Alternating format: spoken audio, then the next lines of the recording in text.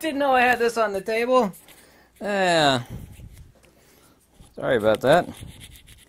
I was uh, reviewing a scientific paper on eating eating some uh, cashews and almonds. Sorry for exposing my nuts there, but see that was a joke. I made a joke. Uh, it was an unintentional joke, actually. That was uh, completely spontaneous, believe it or not. Um, this video is going to piss a lot of people off, but it's true. You have to ask yourself this question before I talk about this in this video. The question is do you care about the truth? Or are you completely immersed in your belief system and, and the things that you think, feel, and believe? I talked about this in a live stream like less than a week ago. I found it astonishing. So many people were, this made them angry. Ooh! Ooh! I used to repair laptops. I'm a bit of a, a laptop nut. Um, I used to be number one person in the world for answering tech support questions about the MacBook Air. Yeah? Yeah. Yeah, definitely. I still have some articles of mine I wrote for Apple. It's, it's on their website. So you can say I'm a bit of a, a laptop guru. I definitely am. Yeah, definitely. So. Anyway, there's a few people like this on YouTube. I'm not singling anybody out, even though I'm sure you're going to think that I am. They they make videos about laptop repair, and this real because someone uh, else brought this up in live stream, and, I'd like to address this and get to the facts of the matter. People get attached to their laptops. I've experienced this, and so so did I. I had an old Sony Vaio. Man, that thing was just built like a tank. It was just awesome. But I used it for years and years, and it became slower than a constipated turtle, relatively, you know, relative to what was out there. But man, that sucker was just a, a beast. It was just, it was just a honeypot of a laptop. You get attached to it. It's like you know, need to give it up. So people, when they want like an old dinosaur poop of a laptop repaired, they get attached to it. It's like you know, it's going to cost you a lot more to fix this thing than it's worth. And when you fix it, it's still going to be an old dinosaur poo you should take that money and go buy something like a million times faster than this. But people get sentimentally attached, kind of like a child has a whoopee. I don't know if you know what a whoopee is, but it's like a blanket. And like a child might have been slobbering on, I don't have a whoopee, by the way. child might have been slobbering on the whoopee, you know, for 20 years. It's got holes in it and it's ratty and dirty and might have creatures living in it. they still want it fixed. It's like, I can't part with my whoopee. That's how people are about their laptops, huh? Um, and I carry no weight for Apple at all. Okay, I never liked Steve Jobs.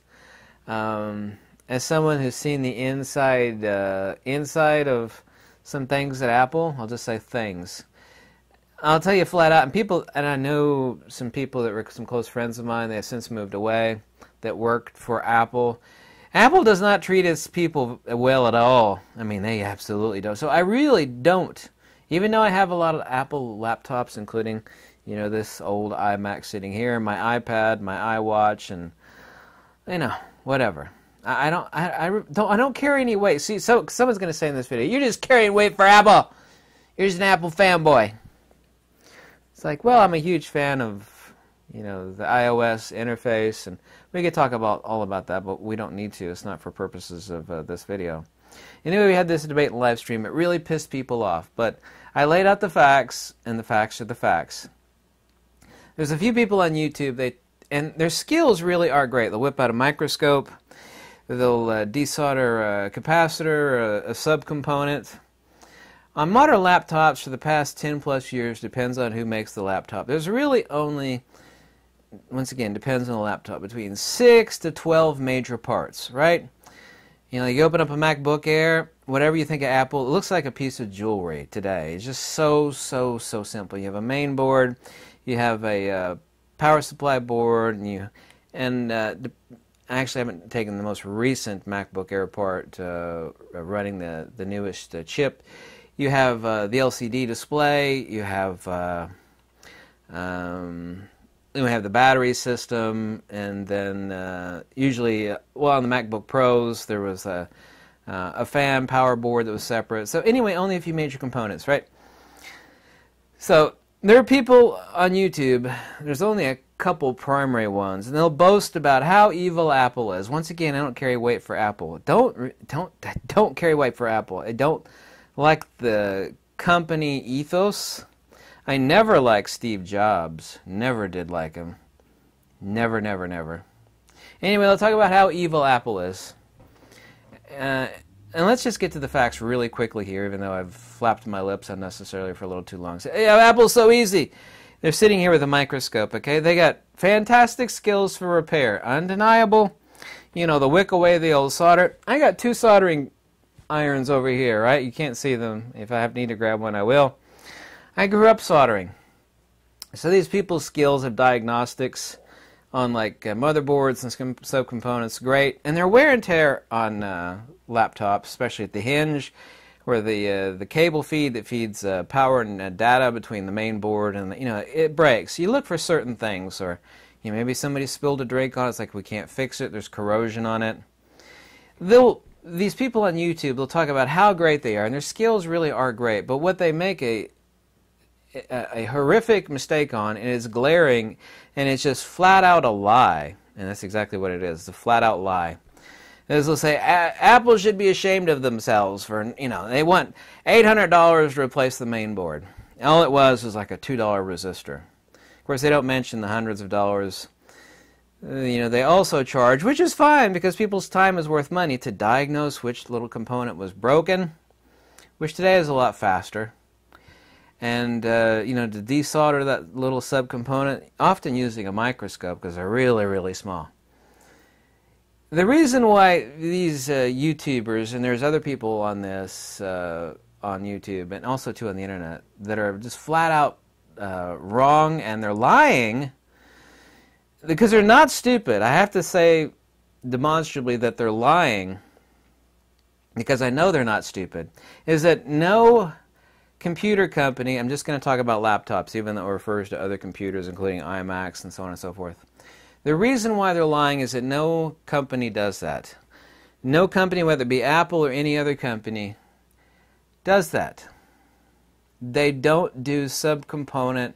You know, sitting there taking an old dinosaur pooper, or even a modern computer. Like I say, you know, something happened to it. Things happen. It's like it was just slightly out of warranty, but it's a fairly new computer you know, they want to charge you X number of hundreds of dollars for a main board.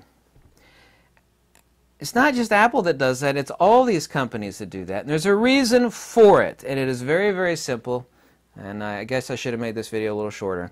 Is that when Apple and these other companies hire people to do laptop repair, just in the case of laptops only, I'm talking about here, they hire uh, an unskilled uh, goof they doesn't need much training. Use diagnostic elimination tools. Like a laptop only has really 10 major components in it, depending on the laptop, okay? Case of the Air, it's very, very few. Diagnosing is really easy. You have a diagnosing, diagnosing tool, you do quick diagnostic eliminations like, okay, it's the power board, which might be a little board like that in the case of an older MacBook Air. That's the problem. Well, you don't identify the subcomponent that's a problem on the board. You say, this is a problem. I'm going to grab that and I'm going to replace, boom, this component with the major component that's broken. In the case of the motherboard, it might be a $2 resistor that's bad on the motherboard. But if the mother, motherboard comes up bad, they take the whole motherboard out, yeah, put in a new one. And so these YouTubers will say, Apple's so evil. This was just a $2 resistor. You're right, but Apple nor any other computer company hires these uh, mostly untrained goofs.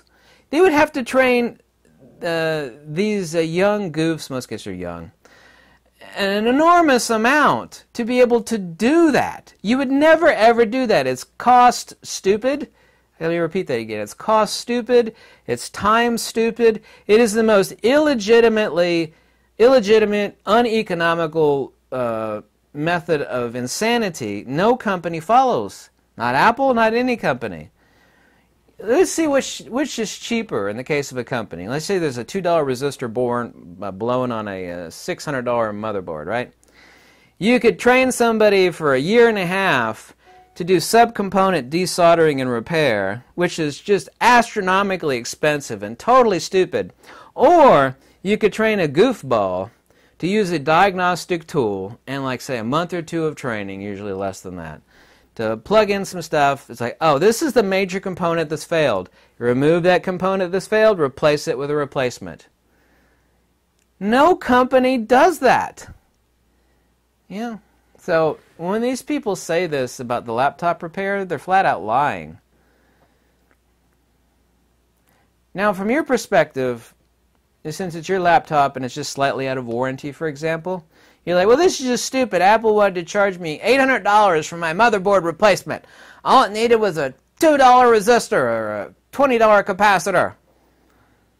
Well, you're empirically and existentially accurate, but you're ultimately wrong because Apple would never, ever, ever, nor any other company, because none of them do it, not just Apple, all of them, they would never, ever train somebody for a year, year and a half to do super detailed diagnostics and, you know, train them how to desolder and, you know, all the little tricks and stuff. You would never do that. Never. No company can operate that way with a profit margin. If we just got done training 10 people the super expertise methodology of uh, subcomponent desoldering and replacement. It's like, what? Yeah, now we can put them to work. Like, no. We just got done training 30 goofs. Took us 30 days to train 30 goose. All they have to do is identify the major component that failed, pop it out, unscrew it, meow, meow, meow, yeah. pop in a new one, slap the back, uh, the bottom plate on uh, the laptop, you know, charge the person for the fix. They all do that. So these people's skills on desoldering subcomponents is undeniable. I know how to desolder stuff. I don't use I don't desolder my microscopic components that require a microscope to desolder because I'm just not going to do it. But People are like, look at my soldering skills. Look at my diagnostic skills. Yeah, your soldering skills and desoldering skills, your diagnostic skills on uh, laptop diagnostics are are stellar. But no computer company would do that because it's insanely stupid to do an enormous amount of training for something that they could train someone 30 days. You know, how to do major component failure diagnostic elimination and just replace it. So I find it odd that people are fighting with me in live stream over this. It's like because this is this is where the real fight occurs. People are right in thinking. It's like why why should I need an eight hundred dollar motherboard when it's only a two dollar resistor that failed? Well, from that perspective, you're right. But what you completely fail to understand from Apple or IBM or anybody else that makes a laptop, Asus, all of them, is that they don't train their flunkies to do that. They would never ever do that. Never, ever, ever. None of them do. None of them. None of them do it. Anybody's What about the right to repair? Hey, if it's your laptop, you can screw the bottom plate off of it and you can repair whatever the hell you think it is you think you can repair if you have the skills, which you probably don't. I love when people talk about what about the right to repair? Everybody has the right to repair their own stuff. Might void the warranty, so what? Doesn't mean I can't take this apart or anything apart and repair it. But I have to have the skills and I have to have the replacement parts. That's the only two things that I have to have. Most people don't have the replacement parts. But even if they could get them, do they have the skills? Probably not.